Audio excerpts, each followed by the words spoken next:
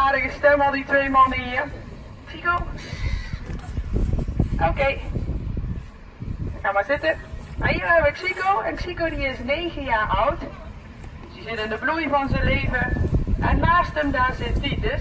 En Titus die is al 20 jaar. Nou, zeeleeuwen die kunnen maximaal zo'n 25 jaar worden. Dus Titus die is al aardig op leeftijd.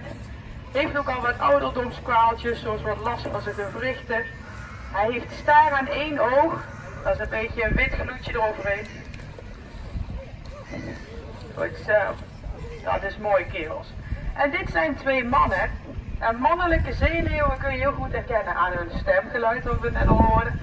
Maar ook aan die mooie bult op hun hoofd. Oké, als ze vruchtbaar zijn, dan krijgen ze die mooie bult en dan weten vrouwen, nou dat is een man die ik in de gaten moet blijven houden. Goed zo kerels. Nou, dan hebben we William en daarna hebben ook twee hele mooie dieren. En dan heb ik een beetje moeilijke vragen. Zijn dat jongens of zijn dat meiden? Meiden denk ik. En waarom denk u dat? Veel kleiner? Zijn ze ook slanker?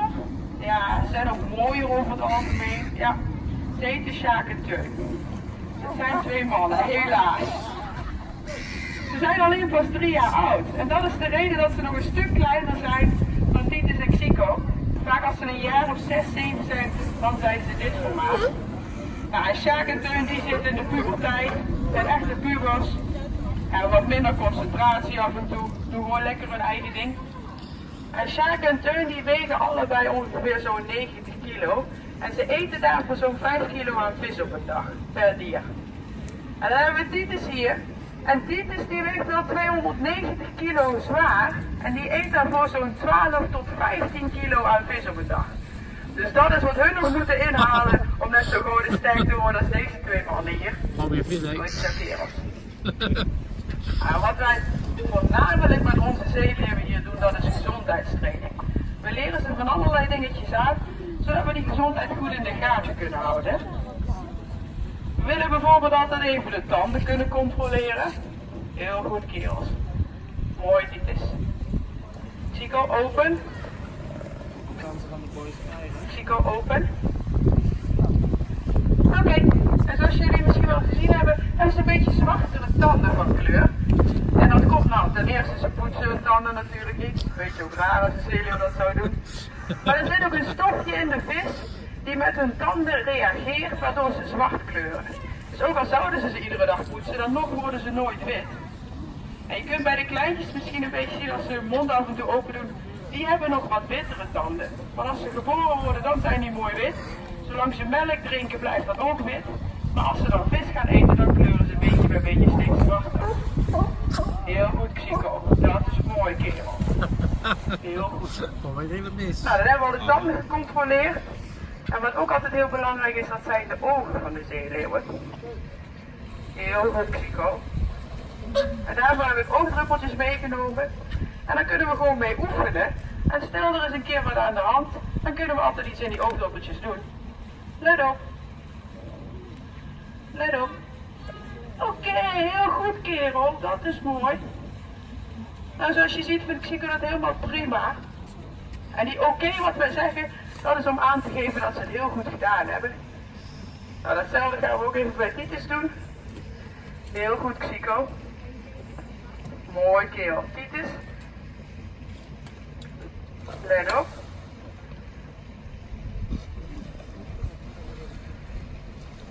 Oké, goed zo. Heel mooi. Nou, even het andere oog.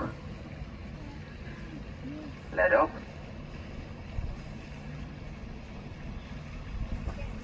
Heel goed, kerel. Dat is mooi. Open. Oké, goed zo. Nou, daarna die zal niet eens even overnemen. Die gaat even lekker één op één met hem aan de slag.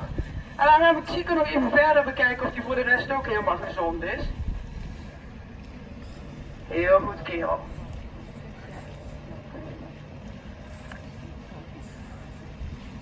Oké, goed zo. Chico?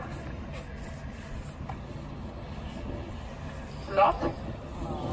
Nou, zo kunnen we dus het hele lichaam goed bekijken of die ook helemaal goed is.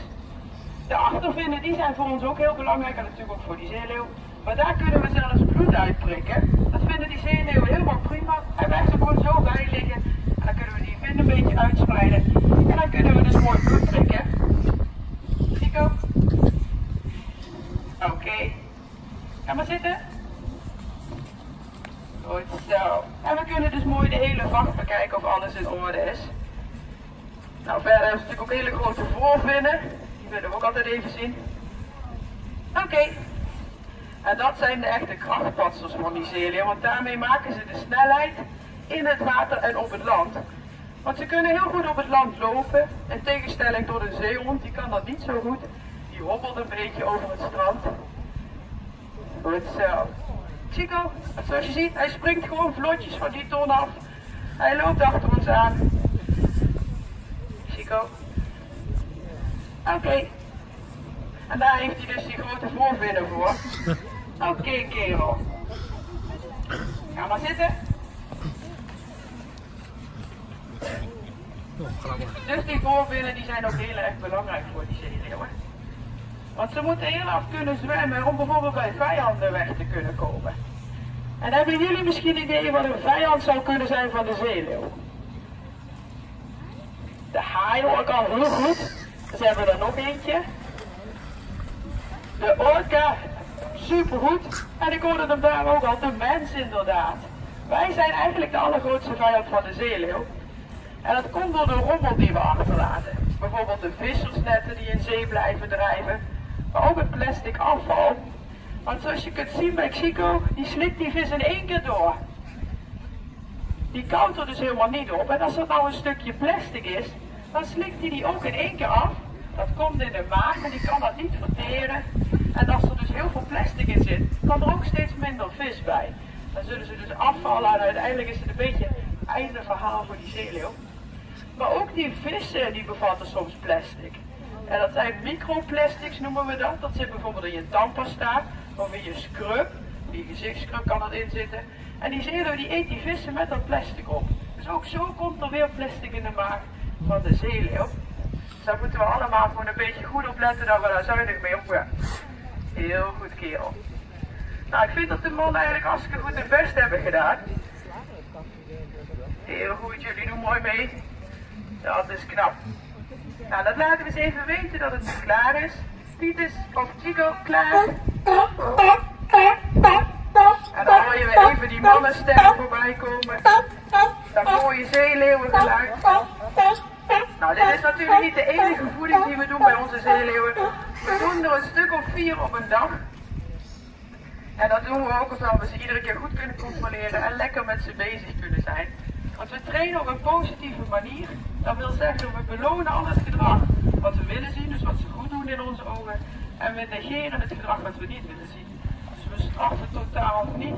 We belonen voor hetgeen wat we positief vinden. Nou, ik heb een hele hoop verteld over de zeeleeuwen. Misschien heeft iemand voor jullie nog een vraag.